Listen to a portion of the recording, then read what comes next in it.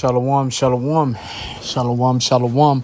First and foremost, giving infinite praises, glory, and honor unto Yahweh, Ba'ashem, Yahushua, Ba'ashem, B'chakwadash, giving double honors to our apostles and elders of Great Millstone and Shalom, and salutation to all sincere Akim across the four winds, pushing this truth with sincerity of heart. I'm your fellow servant, Kasama God from the DC camp, coming at you through the spirit and power of Yahweh Ba'ashem, Yahushua Ba'ashem, Chakwadash, feed the elect.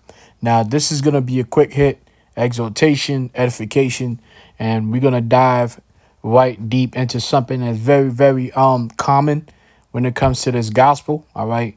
As Hebrew Israelites, once you understand uh, who you are, you, you, you know, you get the name of the Lord, you get the truth, all right? Now, there's certain things that happen, right? You start to establish a lifestyle according to Yahweh Bashim Shah, according to the law, statutes, commandments, and most importantly, you know, uh, having faith. And we in Great Millstone, we prioritize faith because we understand without faith it is impossible to please the Heavenly Father, Yahweh, and His Son, Yahweh Shah. All right, and that's Hebrews 11 and 6. Now, what you have right here it's an image of what's called a hedge all right and of course you have a house for brothers that do have a house you understand what a hedge is all right. Another word for hedge is fence. All right. So we just dealing with basic understanding of protection of your household and your goods. All right. Um, when you're talking about financially, because one of the things that um, we go through, all of us, all right, be, you know, from the very top to the very bottom, is that sometimes we get accustomed to a certain lifestyle financially, um, um, whether whether it be um, from cars to house to finances to jobs, right?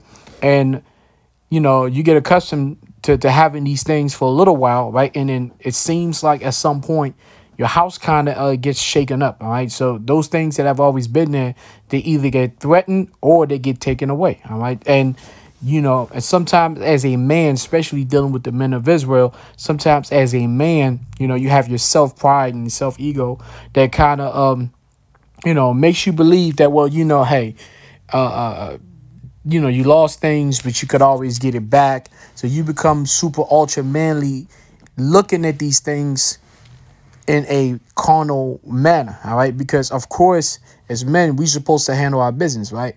But things happen that that are completely out of your control. The reason why these things happen is because of trials and tribulations. So when you have a hedge of protection, you have to understand that for the sake of growth, because there's always a bigger a, bit a bigger purpose for the sake of growth in this gospel, you must be tried. So at times, um, you know, the hedge of protection will be uh, open. It will be uh, removed.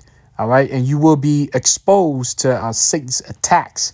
All right, and now, first, what we want to do, let's go to Etymonline and let's look up the word hedge. The word hedge means originally any fence, all right, living or artificial, all right. Now, what we have as hopeful elect of the nation of Israel, so-called Negroes, Hispanics, and Native Americans, primarily the men of Israel, beginning with the prophets on down, you know, us and our families and our businesses, uh, jobs, right, finances. We have, there's a spiritual hedge around us, all right, and it's there most of the time. But I will have to you have to notice, you have to know that there comes times where that hedge, when that particular, uh, when when that spiritual hedge is basically um, open, is made open to allow Satan. Now you will say, well, because you know where I'm going with this. We're gonna go into the book of Job, right? But we have to bring it. We have to bring the context because you have to understand why the heavenly father does what he does because you you you know if if not then you will blame the heavenly father for not protecting you. All right? The lord is protecting your life and as we're gonna we're gonna we're gonna dive into the lord protects your life but the things around your life these things are temporary. So any of the, any of those things can be removed can be replaced can be taken away. Anything that's given can be taken away because these things are temporary. It is your fault you have you will have nobody to blame but you. It, it will be your fault for attaching your heart, for having your heart and your mind attached to things that are temporary. So if those things get taken away, removed from you for the sake of trials and tribulation and the betterment of your mind, your spirit, and your understanding of the scripture, it would be your fault if you were too attached and therefore got your feelings hurt, right? It started tripping, not understanding the big picture. Now, the hedge, it says originally any fence, like we read earlier, a hedge is a fence enclosure. It's an enclosure. All right, so let's go further down. It says a boundary, a barrier. All right, so there's a boundary and there's a, a barrier. All right, and the, the, the Heavenly Father has said that where his angels are camped around the ones who fear him. All right, the hopeful elect. We all have angels that protect us. All right, we have protections uh, amongst, you know, around our, our homes, um, our children, our uh, faithful wives, the ones that, you know, the ones of us that actually do have um, women that are faithful to us. And then we also have a certain amount of um, hedge around our, our finances, right? But again, anything that's temporary, those hedges will be removed temporarily, temporarily. So, you know, you can actually um, suffer attacks, basically. All right. Uh, and again, it's for a bigger purpose. So that's what a hedge is. So without further ado, let's go to Job. This is Job chapter 1. And uh, I'm going to really read um, fast pace. Again, you know, we, we already know what it is with Job, but it's just getting to certain points. This is Job Job chapter 1, verse 1. All right, Job's character and wealth. It says, There there was a man in the land of Uz name whose name was Job, and that man was perfect and upright, and one that feared the Most High and eschewed evil. And there were born unto him seven sons and three daughters. His substance also was seven thousand sheep, three thousand camels, and five hundred yoke of oxen, and five hundred she asses, and a very great household. So that this man was the greatest of all the men of the east and his sons went and feasted in their houses, every one his day, and sent and called for their three sisters, three sisters to eat and to drink with them. Verse 5 And it was so when the days of their feasting were going about that Job sent and sanctified them and rose up early in the morning and offered burnt offerings according to the number of them all. For Job said, It may be that my sons have sinned and cursed the Most High in their hearts. Thus did Job continually. Now, in this particular verse, verse 5, this is where all of us eventually you know get um because this is just a natural thing the scripture speaks about the natural and the spiritual there's a lot of there's a lot of things that you do that are not sins but because it's your nature to do that, it gets you to be attached to things that will be, you know, the things that if removed will be detrimental as far as like you would be in a I'll play I'll say you would be in a space where you'll be highly emotional and it'll be detrimental to your journey in this gospel. All right. So attachment to children, attachment to finances, uh, attachment to all of these things that are temporary. Um, when those things, if you get too attached to it, like Job has shown showed right here in verse 5, he showed attachment because he made burnt sacrifices for his children. His children were adults. And according to the laws, his children, his adult children were, were responsible for making sacrifices for their own sins. But Job has showed right there, he showed weakness, right? Although it sounds good and it looks good, you know, and, and it was good, it still showed weakness because Job loved and loved his children so much over to the point where he made sacrifices for their sins when these were adults and they were supposed to make sacrifices for their own sins. All right. So when you see something like that, which all of us tend to do that, all right, we have certain things that we have on a regular basis.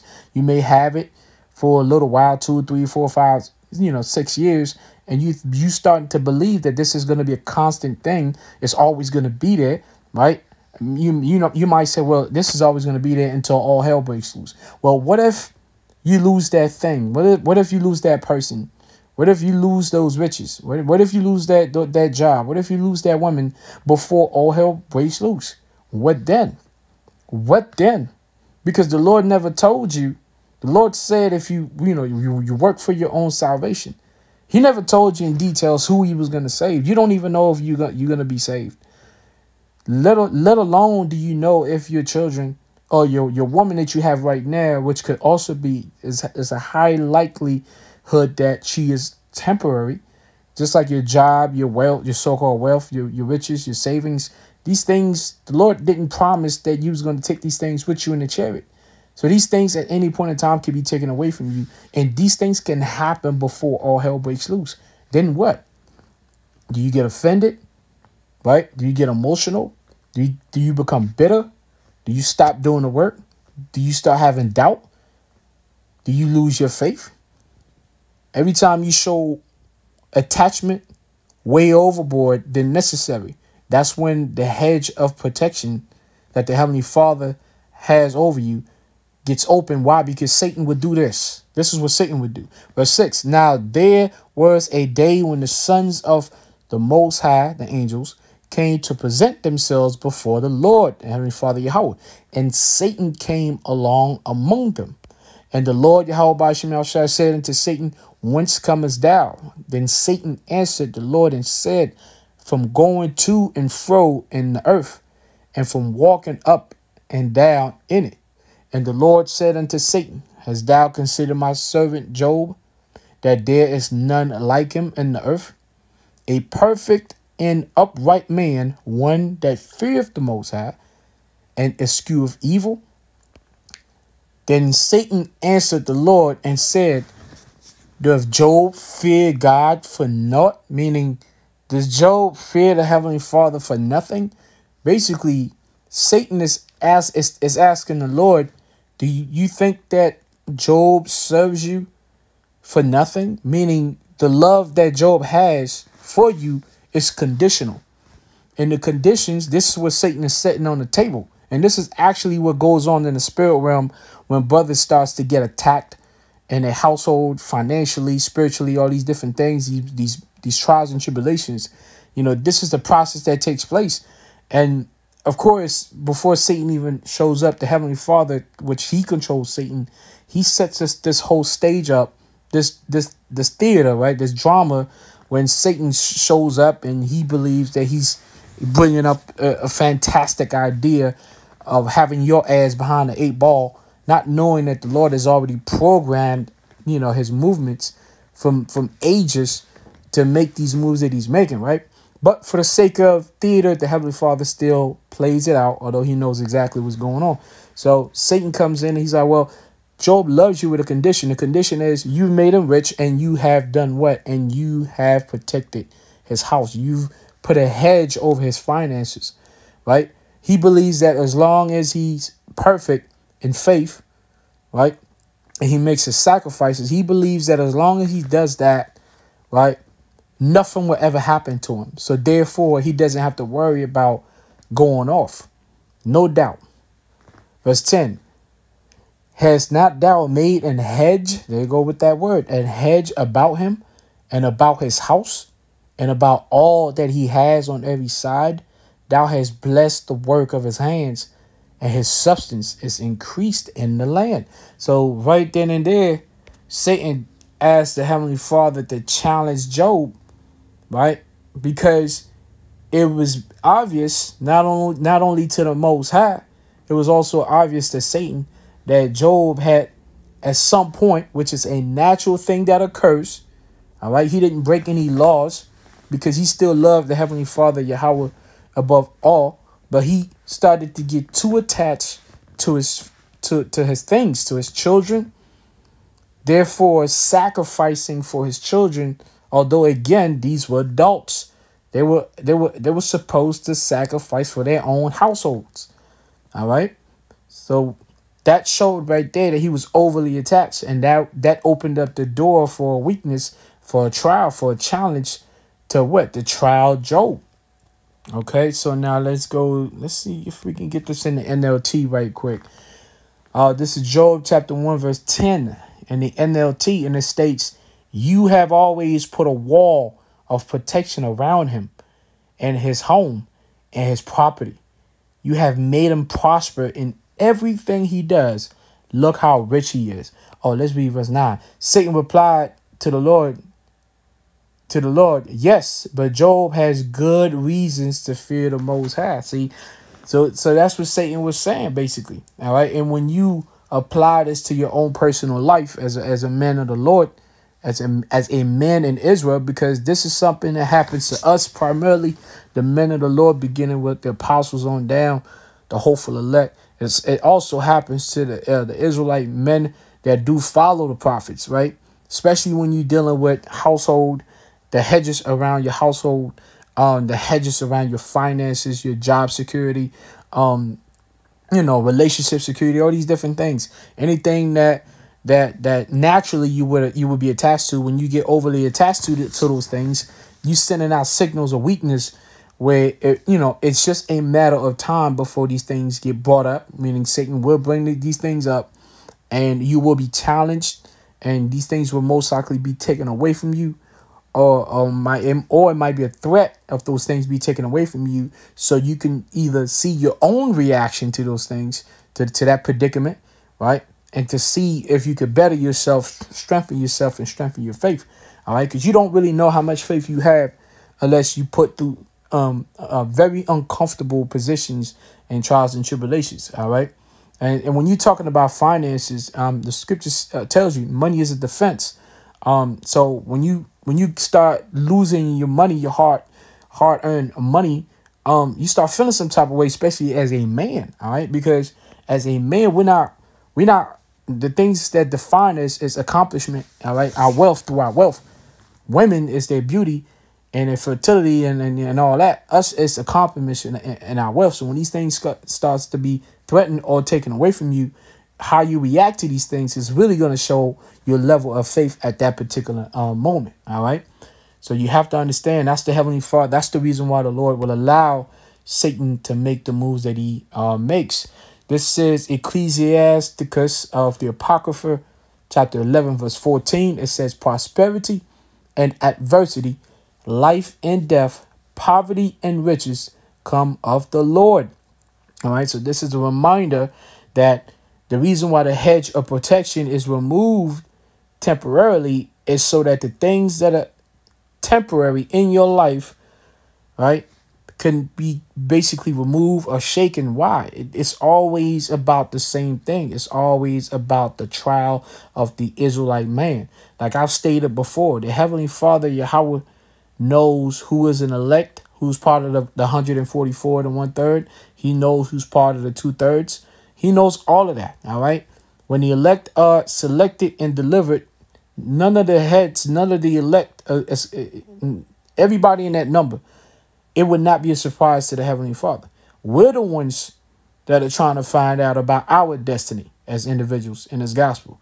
The Lord already knows our destiny because He wrote it from the very beginning.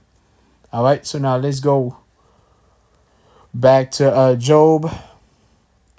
Now, when you read down. We're going to skip, of course, because the Heavenly Father then, well, as a matter of fact, let's go to verse 10.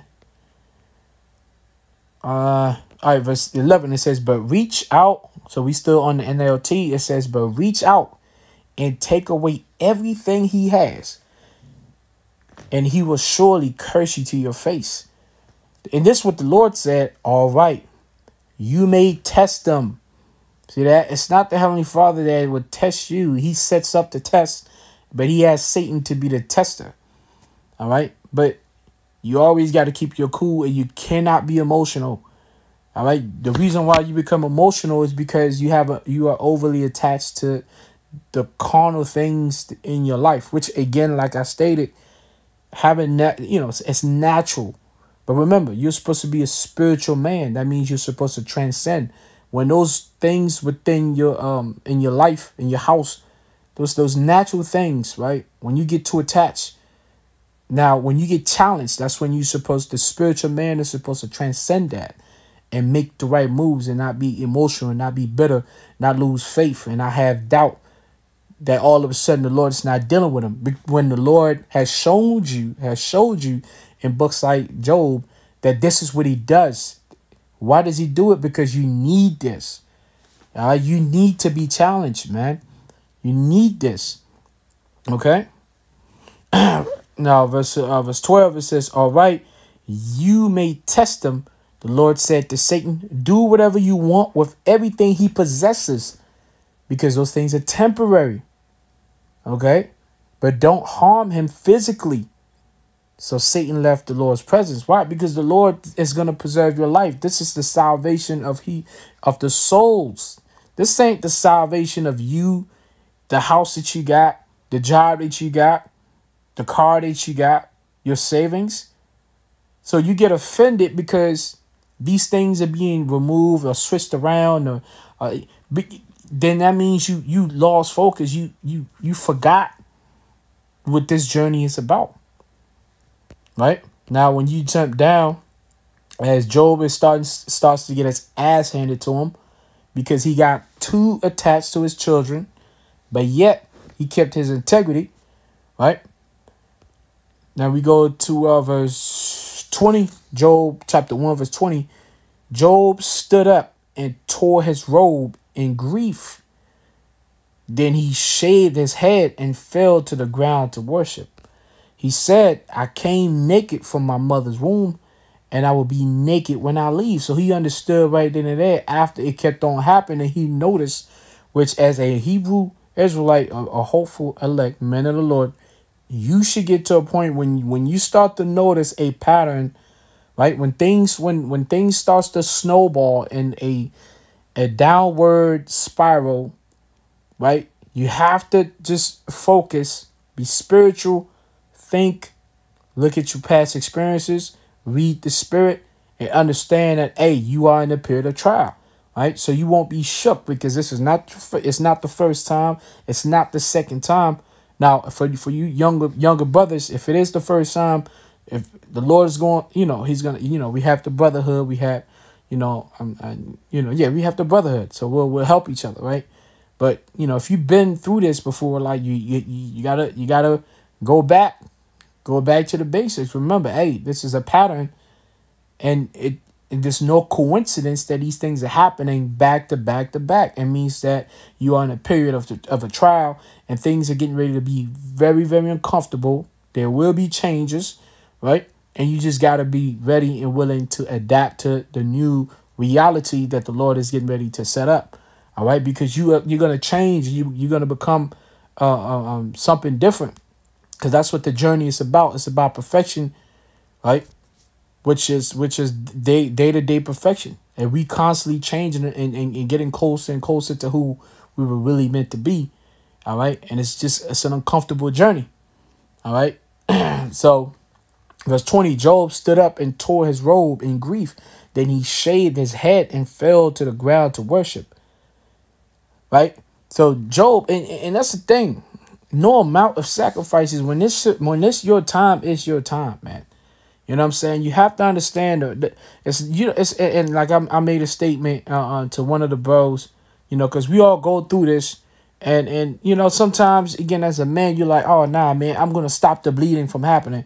You can't stop the bleeding from happening. It's happening. It's going down. You just gotta really strap up emotionally, mentally, spiritually, because it's going down. You're gonna take some L's, right? The picture, the picture that you're looking at right now is gonna change when you look around you, right? Look around and you know, sec- being circumspect around you, your family, your finances, your woman, all these things are gonna change. But when those things change, who are you gonna be? Are you gonna fall away with the, with those things, right?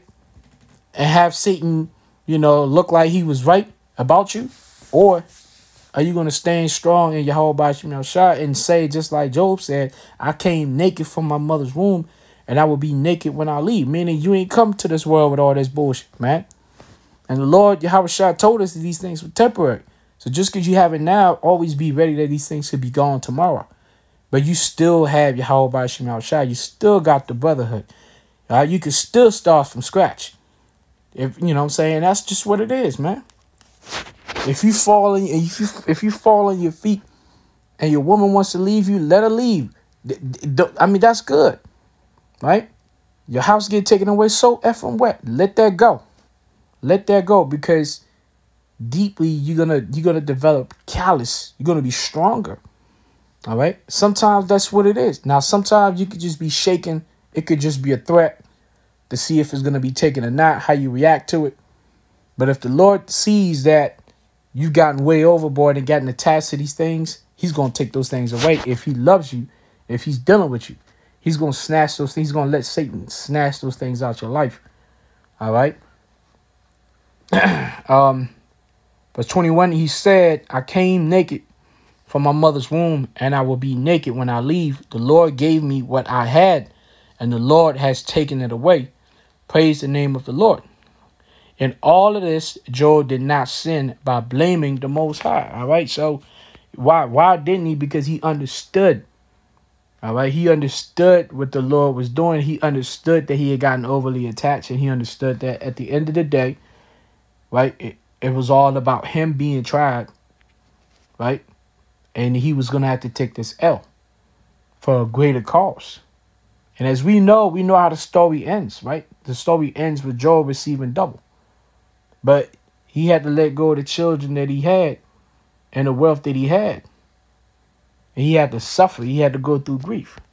Very important, man. We shouldn't forget that. But at the end of the day, what did he do?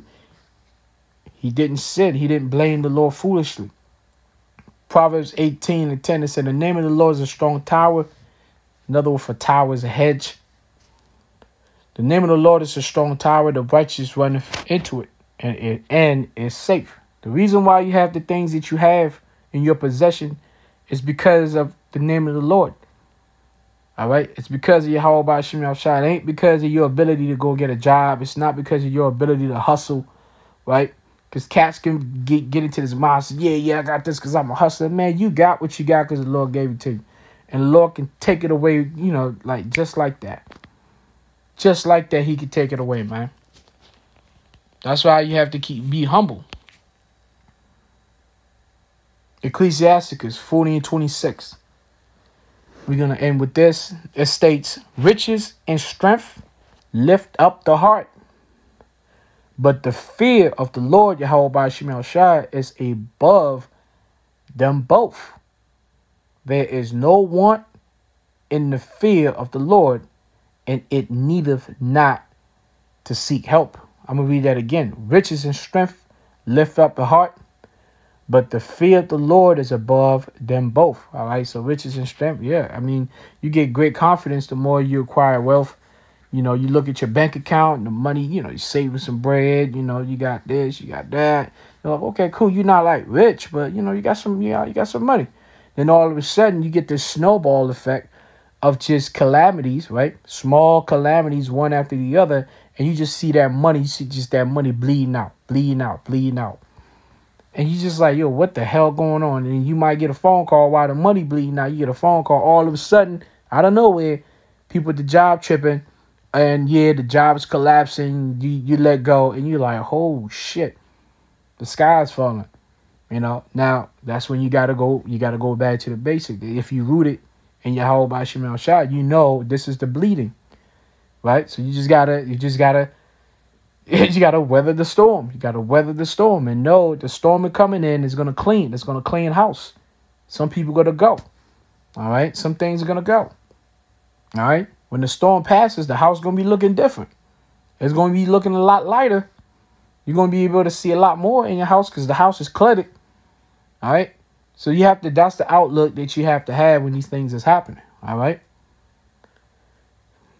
so um, there is no want in the fear of the Lord, and it needeth not to seek help. All right. So basically, that's all I had for the day. Um, hopefully, you were edified as I was. You know, that's the um, the lesson for the day, man. It's just a hedge, man. Remember, it's the hedge of protection of your Yahweh by Shemel Shai. You know, without that hedge, man, everything that you got can be taken away. And the Lord will remove the hedge at times to allow Satan to, to go in there and do some work. But always remember, man, it's for the betterment, it's for a greater cause. You know, these are these are trials and tribulations that you need to elevate to the next level. Call Halam La Yahweh Shemel double honor to our apostles and elders of Great Millstone. Shalom salutation to all you sincere Akim across the four winds, pushing this truth for sincerity of heart. Because I'm a guy from the DC camp. Shalom.